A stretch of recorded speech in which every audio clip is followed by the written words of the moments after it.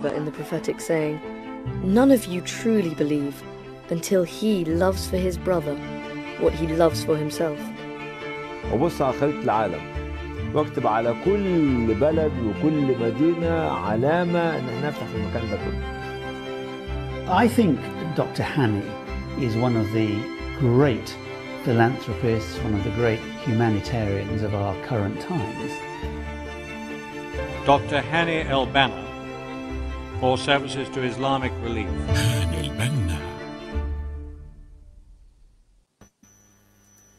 Bismillah ar-Rahman ar-Rahim, uh, dear viewers, welcome to a new episode of Conversations with uh, Dr. Hani Al-Banna, one of the most important figures in charitable and humanitarian work. We talk about the contents of the forum global dimensions of humanitarian work, and we also talk about his views, suggestions, and uh, advice for humanitarian workers. Dr. Hani, welcome.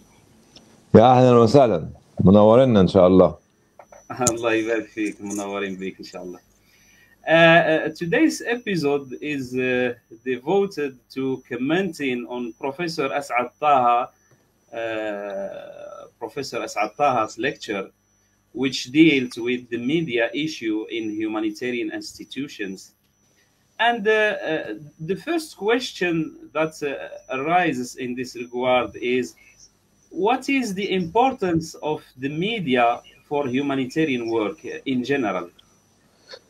Uh, media is one of the uh, most important soft power in any social work, political work, economical work, for a country or for institution, for a government, for community, for everybody. Uh, soft powers of any country, the, the two most important ones of them is uh, humanitarian organization and the media as well because media can reach uh, areas where nobody else can reach. Same like humanitarian work or humanitarian organization can reach areas where other organizations or other uh, institution or other individuals cannot reach. So really, media is crucial in any humanitarian work, but you have to understand the dimension of the media as an industry not just photographs, videos, and voiceover and recording only. It is beyond that. It's an industry, industry which actually support uh, humanitarian work, supports uh, social work, support political work, support economical work, support even military and security work as well. Mhm. Uh, uh, in his lecture, uh, Mr. As'ad Taha talked about uh, an important factor for the sustainability of uh, charitable and humanitarian work, which is the trust uh, uh, factor. How can media contribute to building trust between humanitarian institutions and donors, partner organizations, and governments, etc.? Uh, trust is a very important element as a bridge between the community, between the donors, and the charity organization. And media can play a very important role in building such trust. If media will become, uh, will talk, be talking about the truth, will be fair, will show transparency of the organization, will talk about the achievement as well as the failures of the organizations.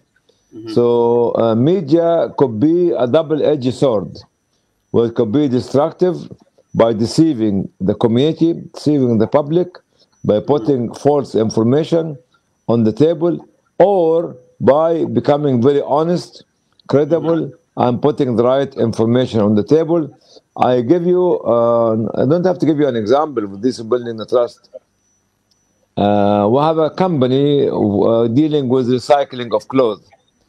And this company, because uh, it says what it believes in and what it delivers, uh, customers from Africa, from Asia, are waiting for months to buy the uh, or wait for the shipment from this uh, company because it builds a very important uh, bridge between the customers and the uh, the the, organ- the company, which is the trust. Whenever they open the container, they found the categories which been mentioned in the email exactly there inside the container, and this is honesty, and this is uh, uh, talking about the truth uh, to the public. So that's why public are waiting for months to wait for the shipment, and they don't buy from any other company. That's why media, if it talks about, uh, if it builds a trust, it has to be very credible, it has to be very transparent, and it has to say the truth. Mhm, mhm. Uh, uh, Mr. Asad Taha, uh, uh, talking about uh, media in humanitarian organizations, said that media is still considered as luxury by some humanitarian organizations. Uh, through your uh, experience, Dr. Hani, what is the reality of uh, media work in humanitarian institutions? Is it a, professional work uh, done by professionals, or is it still primitive and uh, luxury, as uh, Mr. Asad uh, said? I think some of the heads of the organization do not invest in employing the right people. Mhm, They just get photographers, they get cameramen or camera women to employ them to take some photographs and make some films. But they do not uh, employ the proper uh, qualified uh, professional uh, media uh, personality who can look beyond the photograph, who can look beyond the image, who can look beyond the video uh, as, as well to send a message to the public, whether this message is a positive or negative. This is a problem with the mentality of uh, some of the uh, senior directors or managers of this organization. Even when they get those young uh, officers or young cameramen or young uh, photographers, they don't invest in them. mhm, They keep them for a long period of time without training, without guidance. So they will do the same thing again, or they will leave. This how some of those uh, chairmans or managers or directors uh, look at media as just an image, not as a message, as just a beautiful photograph, not as as a, a as a message that they want to deliver to the public, just uh, like a shot, not as a some some some image which can stay forever. I tell you the importance of media in the massacre or the discovery of the massacre of Sabra and Shatila. Sabra and Shatila massacre happened in Lebanon, in Beirut, in uh, summer 1982, and it was discovered by a journalist, a French journalist, who put some photographs, just photographs, for effective photographs, actually, uh, which impacted the whole world. It came from his French newspaper, and everybody was standing up and saying what's going up in Lebanon.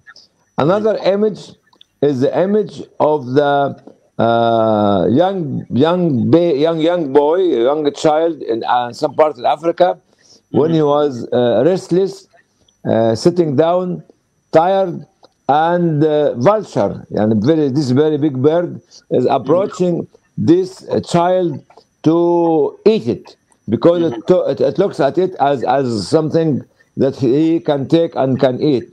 And this photographer, it is image, won a lot of uh, prizes, but he ended up committing suicide because he could not be able to defend the child in this uh, village.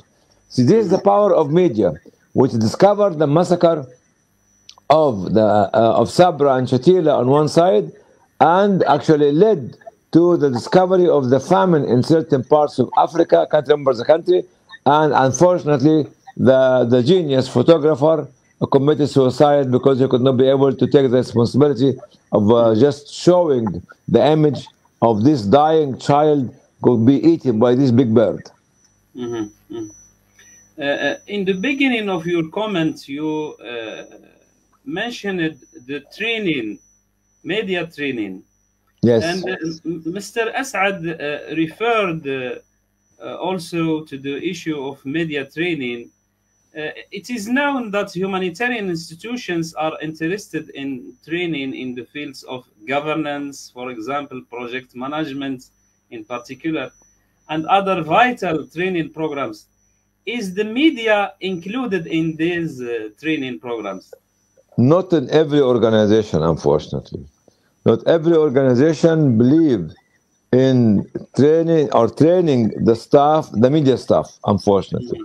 But let me uh, introduce uh, Mr. Asad Taha to the viewers, which I forgot to mention at the very beginning. Asad Taha was a journalist in the 80s, specialized in the Balkan region and the Central Asian Republic. Uh, I met him first time in 1986 in Munich, in Germany, in a conference, and he was just joking with me, telling me, "How can you say a penny a day keeps the famine away, and you will be actually raising all this fund uh, uh, as well." Asad Taha uh, was uh, the one who helped us to register our offices in Kazakhstan, in Uzbekistan, in Azerbaijan, in Ukraine, in Russia, and in Albania at the beginning of the 90s. Asad Taha was uh, uh, uh, representative of MBC television in uh, Sarajevo, uh, in Bosnia, uh, from 1992 uh, till 1995, 1996.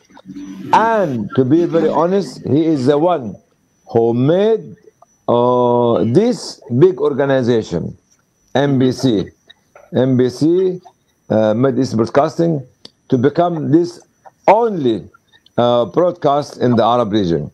Asad Taha at this war, during this war, he he could have been killed because a shell uh, fall on, on, on his office and he came out injured with the dust on his head and on his hand and, and on his body. This is Mr. Asad Taha. Asad Taha, as somebody who has a nearly an experience of 40 years of media experience and uh, field work, was trying to train young people and to make them media professional individuals.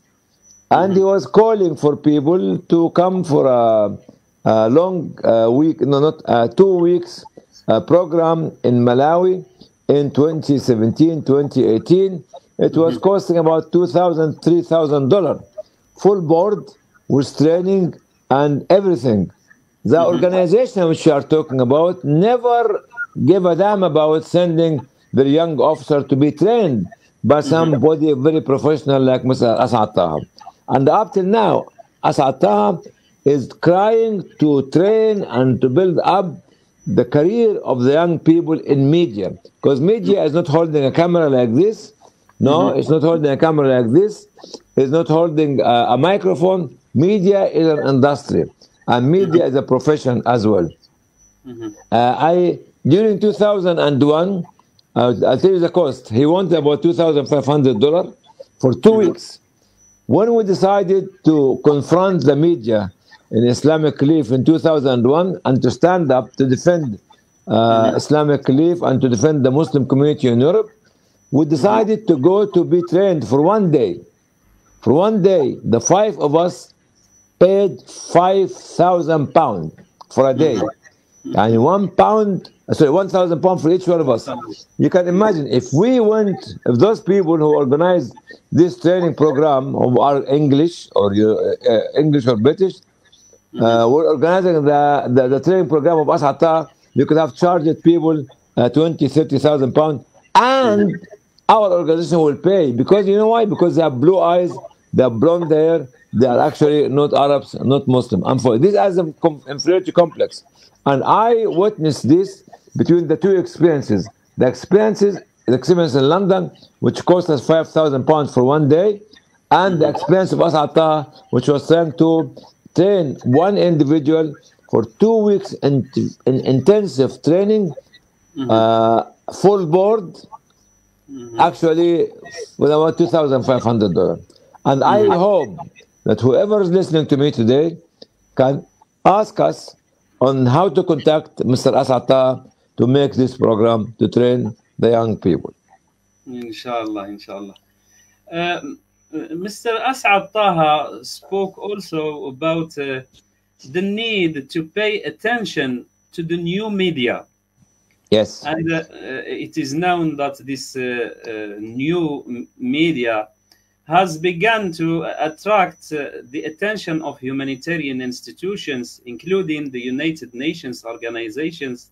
Mm. Uh, allow me, Dr. Hani, to show a tape about uh, the Kuwaiti YouTuber Abu Fulla, and uh, you can comment after that about this kind of uh, promotion of humanitarian projects.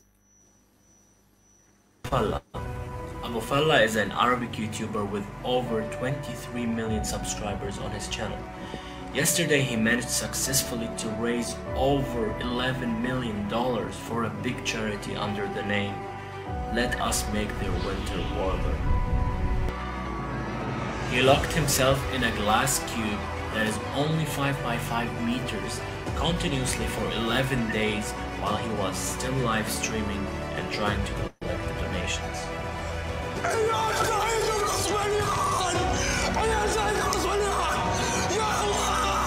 And before starting the charity, he uploaded a video on his YouTube channel and he said, I don't care how long this is going to take. One day, two days, one week, two weeks. He said, All I know is that I'm not going out of this glass cube until I collect $10 million for the charity. The goal of the charity was to protect over 100,000 refugee families, which is around 300,000 human beings from the cold winter. Not only this, but he actually broke two Guinness World Records at the same time. إنها جت بحملة إنسانية عظيمة عظيمة أساسها هو أنتو بعد الله سبحانه وتعالى شكرا لكم عمري ما راح أنسى هاللحظة هذه بحياتي The first record was most viewers for a charity donation live stream on YouTube with around 508,000 people watching his live stream. And the second record was the longest live stream that lasted for 268 hours. I really don't have enough words to describe this legend. 11 million dollars. Uh, what do you think, Dr. Hani, about this kind of pro- promotion uh, of humanitarian programs? Uh, the new social media is very important because it attracts the younger generation. The younger generation in the Arab world and in the whole world constitute about 60 70 percent. It talks about the philosophy of thinking, about the language of behavior, about their attitude. Abu Fulla bought two, three challenges. He said, I'm going to put myself in this uh, box, glass box or glass tube, no matter how long it will take, actually to raise $10 million. And he managed to raise $11 million. There was a clear objective, actually, for Abu Fulla, which is to raise funds to help the Syrian uh, uh, displaced people inside Syria at that time, and he managed to do that. And this is one element is the challenge. The second element is his uh, professional performance to attract the younger people. He understand actually what attracts them because he's a young man like them. The 3rd one, which made him to make all this money, is his partnership with you uh, with uh, United Nations and the city of Dubai. So people knew who are donating that the money will be given to a credible organization. That's why they donated. So the, the success story here is one of them is the performance of uh, Abu Fulla. The second one is the challenge that he put himself in this glass box. The third one is the partner with uh, Abu Fulla, uh, which is United Nations and the city of Dubai. But on the other side, if you remember the same year, uh, young, uh, not influencer like Abu Fulla, uh, young Palestinian wanted to raise for the same people from Palestine uh, the same amount of money. And he made through the social media, he managed to raise $10 million with other kind of direction with other level of organization like Ata from uh, Turkey. He himself was not as famous as Abu Fulla, but the same objective was the same. The objective was actually to raise the fund for the Syrian in winter. Actually, but the organization here was Ata, and the other YouTuber was not Abu Fulla. Uh, for these two, if you if, if you manage to to to make a comparison between both of them, you found that the other one was more uh, powerful. Why? Because United Nations was not there, the city of Dubai was not there uh, as well to make people. And the third important, most important thing, most of the donors were Palestinian. Mhm. Most of the donor were Palestinian, and this was not the first time that the Palestinian inside Gaza or Rafah or uh, the, or uh, Deir al-Balah or Jerusalem or uh, uh, Nablus or Nazareth donated this 10 million dollar actually from a, from a poor people to another poor nation Mhm. Mhm. and this actually when you call it so, so social media is a new art of media Mhm. art is, is something like you have to learn to be mm-hmm. able to make it then to test it. Because not mm-hmm. everybody will go to the louvre in paris and look at this painting and say oh why what's this waste of time? Because he has not got the mind and the skills to understand the painting of those people in actually which very famous like in michelangelo in italy and the other people as well we'll uh, we'll talk about the art uh, in this episode, uh, inshallah. Uh, As'ad Taha spoke in uh, a very important sign uh, about the importance of writing the biographies of humanitarian. You are actually uh, opening up uh, a Pandora box.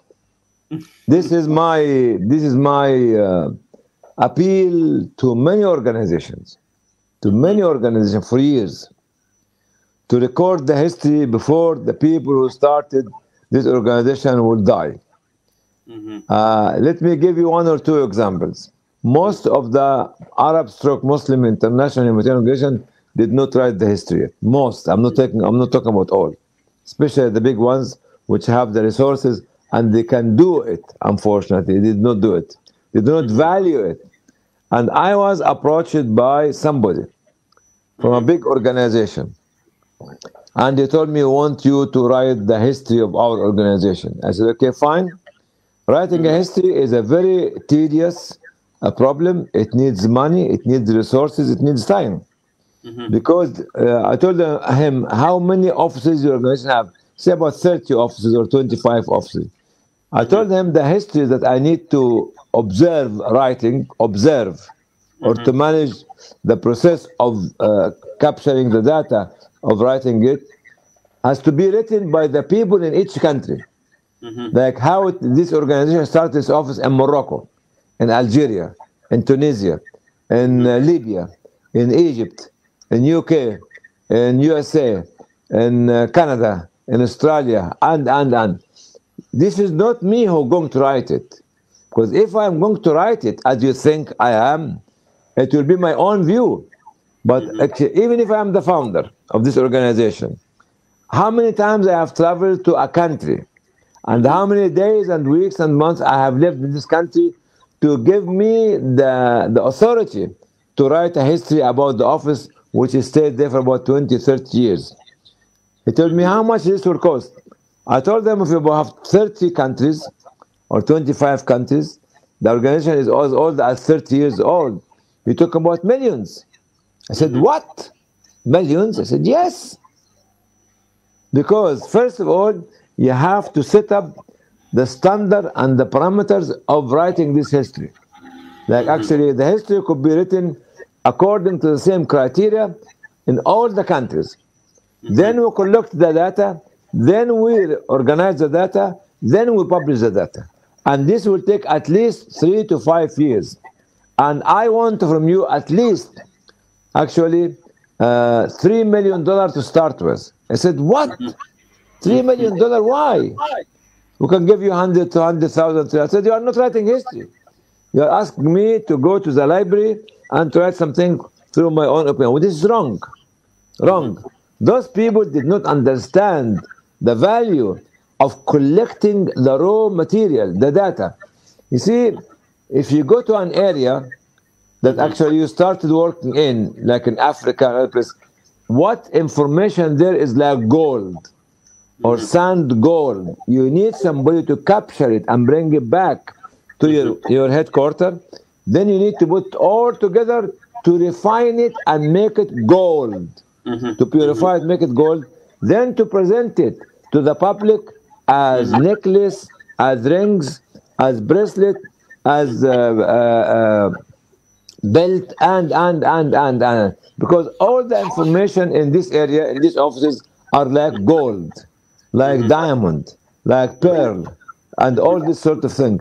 And it's not it's not just something somebody sitting in a, in a dark room and writing. And actually they they did not finish the, or they stopped the discussion with me and up till now even i'm still some of the members of this organization talking to me said yes the three million dollars is too much. I said, what do you mean?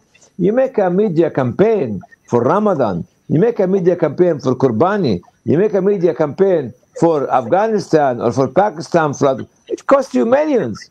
You don't write the history once to keep it for next generation, and it costs you three to five million dollars, especially uh, since you have not uh, uh, uh, wrote, uh, wrote it actually from the beginning.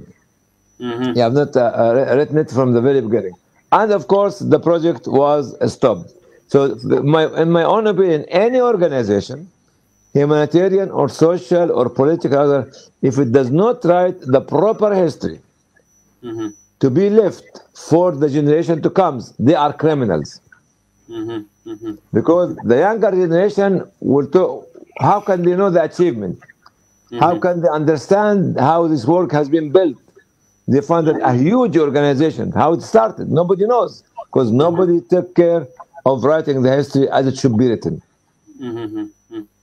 Uh, actually, uh, it will cost because uh, it must be written in a way that includes more than statistics uh, and traditional information. Uh, it, it must be uh, art, and that's why it will cost. Allow me to ask you about another important topic, which is uh, related to the ethics of humanitarian work. Some uh, media reports always uh, raise the question of the ethics of humanitarian work. So you find uh, many exaggerations in showing the need of uh, the needy. And this uh, uh, insults the dignity of the huquq, as you uh, call them, people with rights. What is your view, Dr. Hani, of the al alternative in this regard?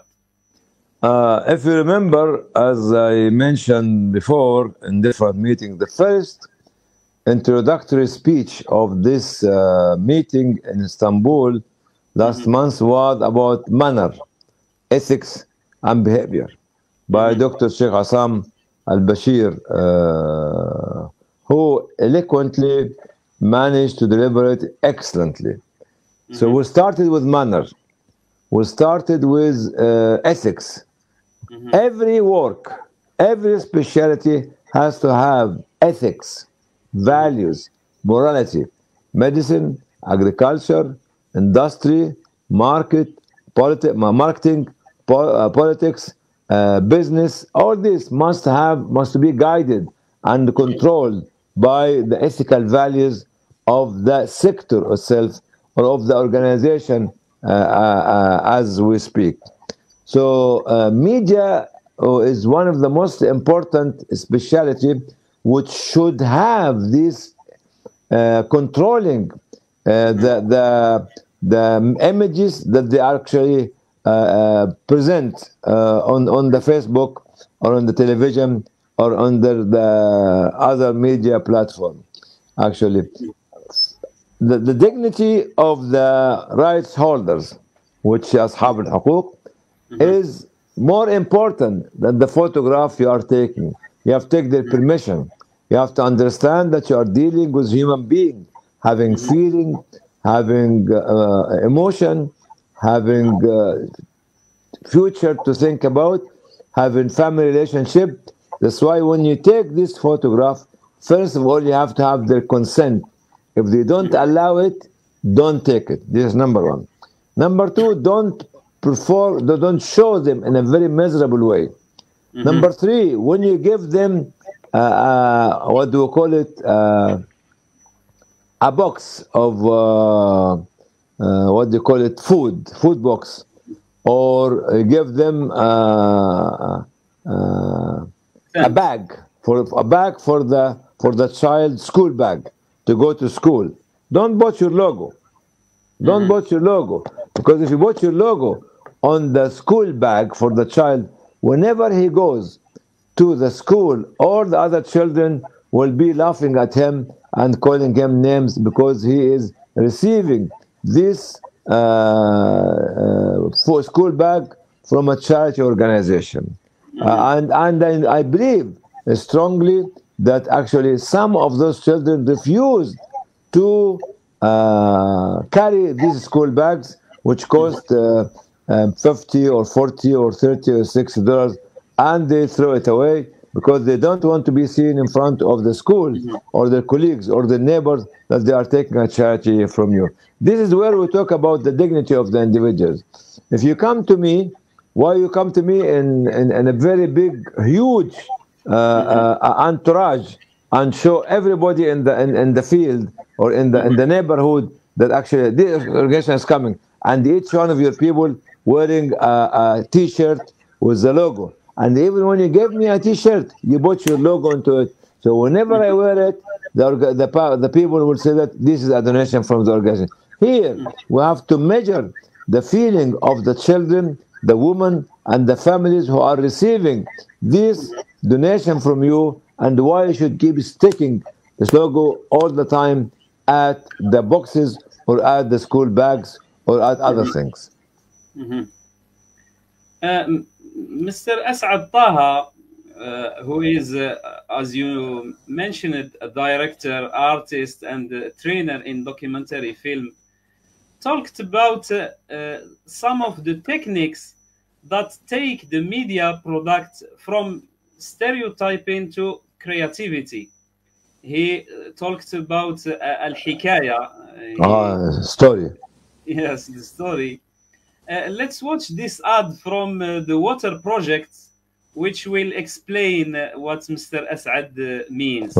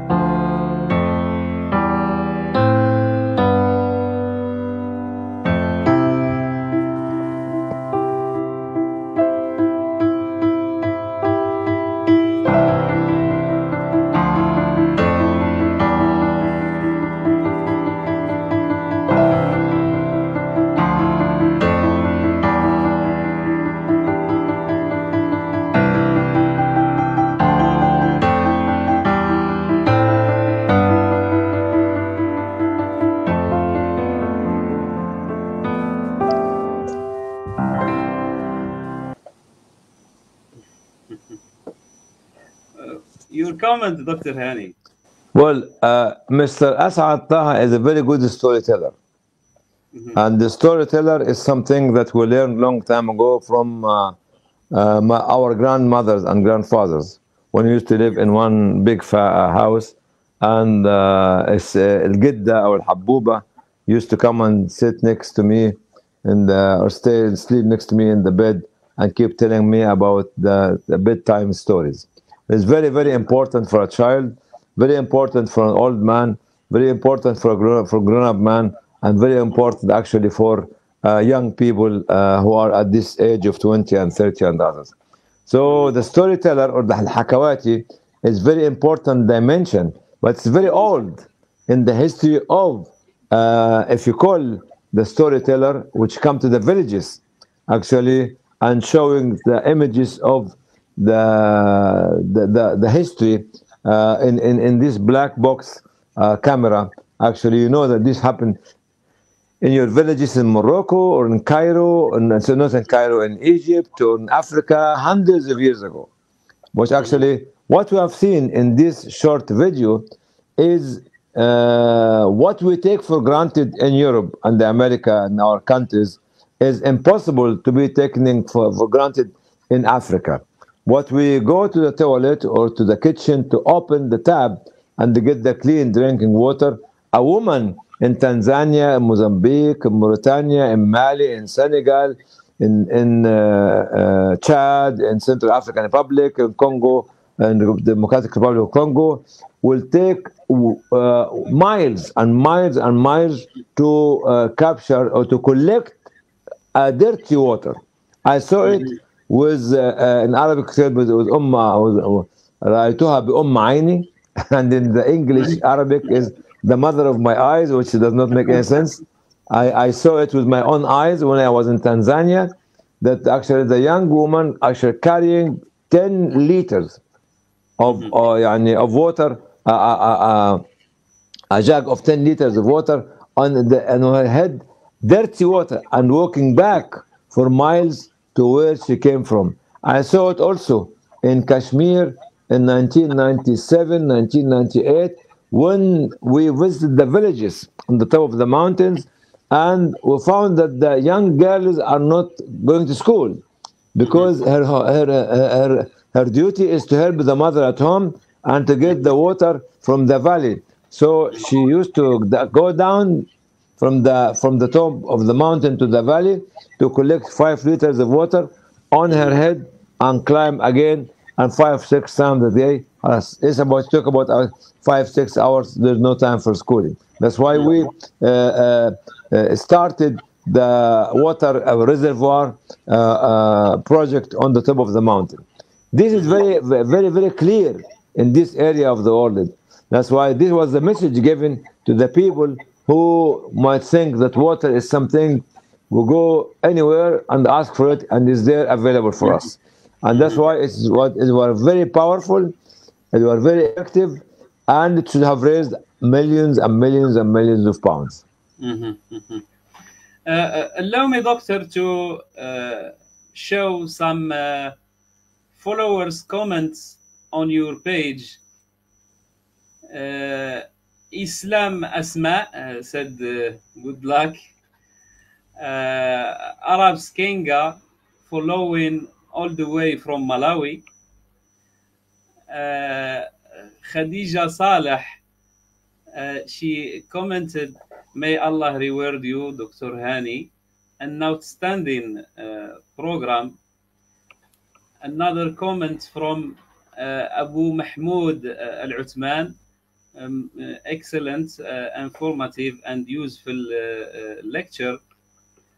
Another uh, comment from uh, المركز المغاربي للوساطة والتحكيم uh, the Maghreb Center for Mediation and uh, Arbitration uh, he commented uh, may Allah protect you and take care of you uh, another comment from uh, Ibrahim Muhammad Al Khazan uh, I salute you and uh, finally uh, uh, we come to uh, a comment from uh, Ihsan Doski.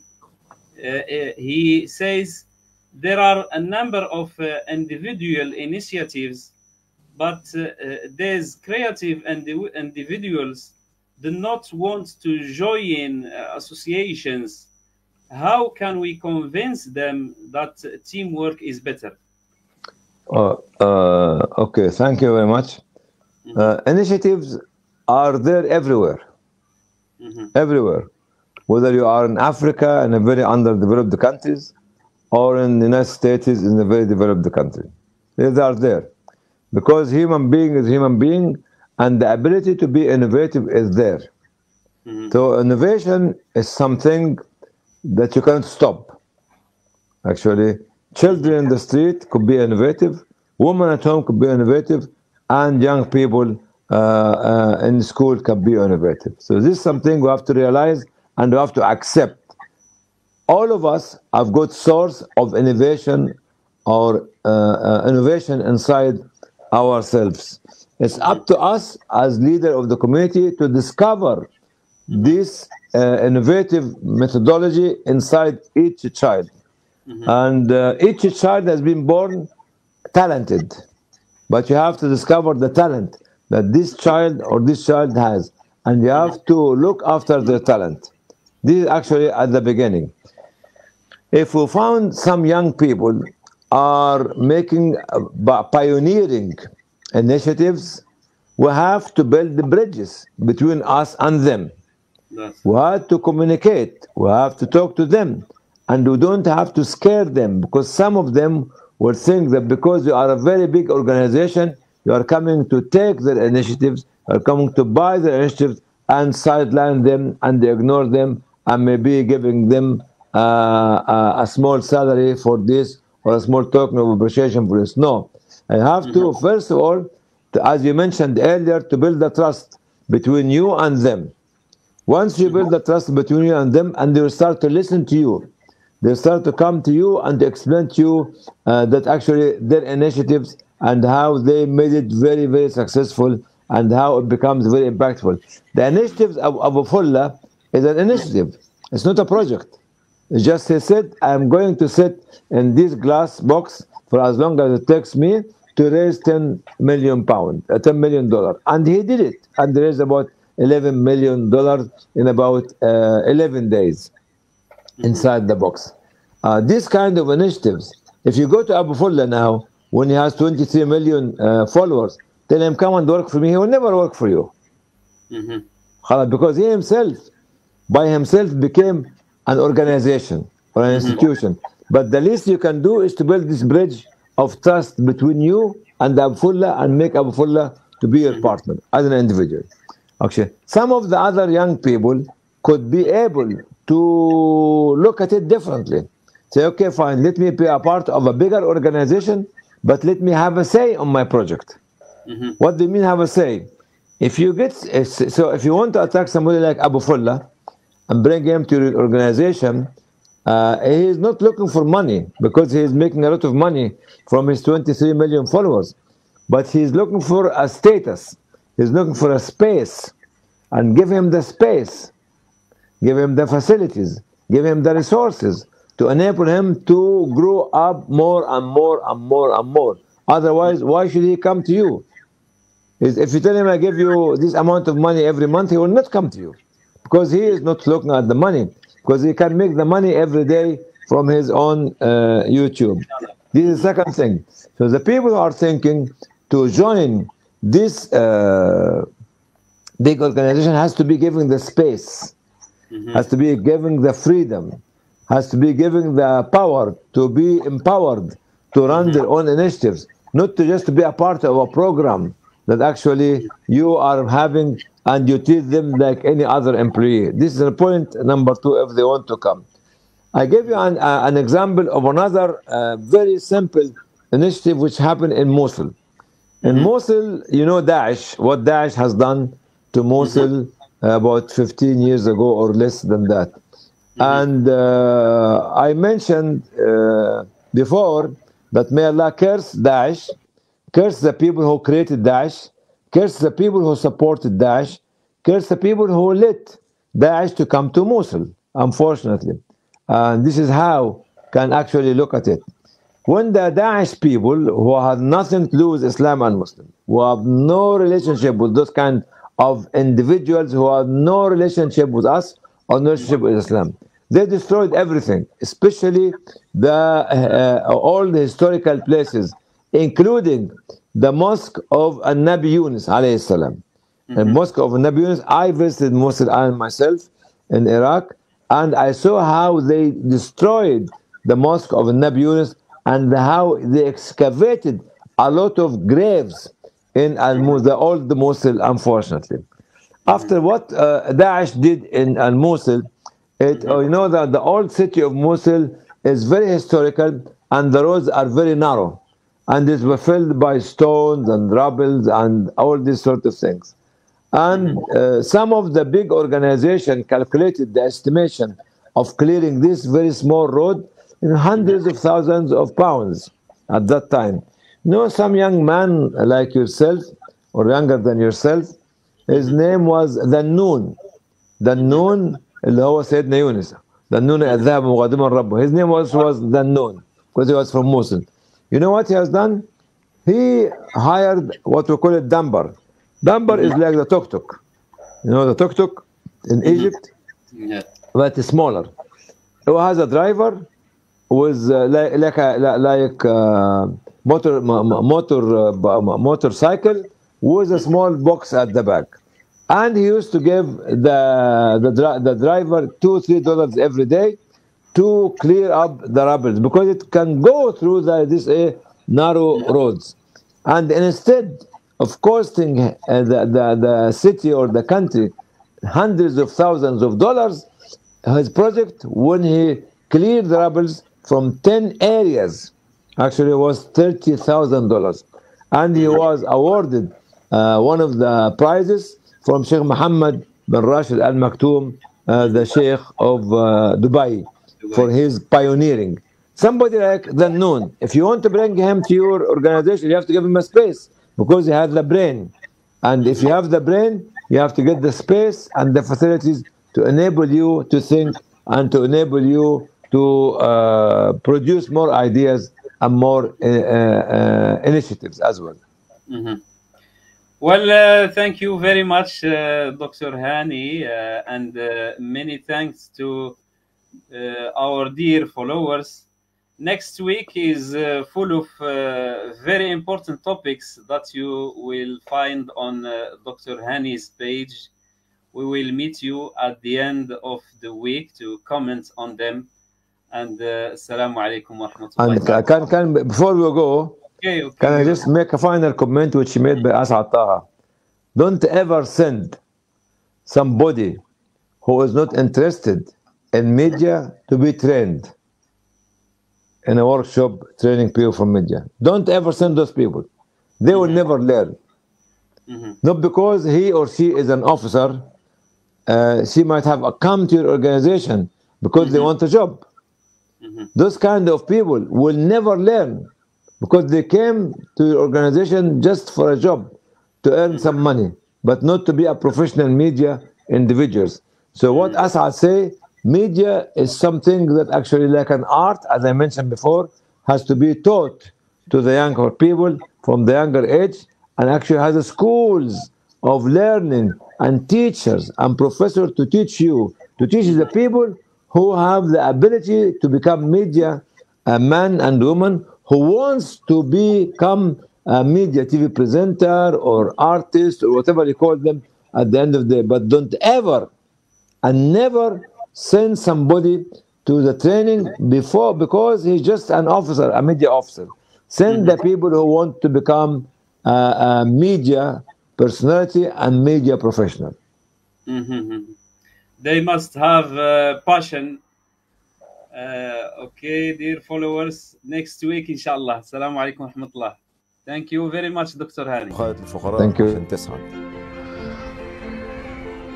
Dr. Hany was a strong believer in the prophetic saying, None of you truly believe until he loves for his brother what he loves for himself. وبص على the world. واكتب على كل بلد وكل مدينة علامة ان إحنا نفتح في المكان ده كله I think Dr. Hani is one of the great philanthropists, one of the great humanitarians of our current times. Dr. Hani El Banna, or services to Islamic relief.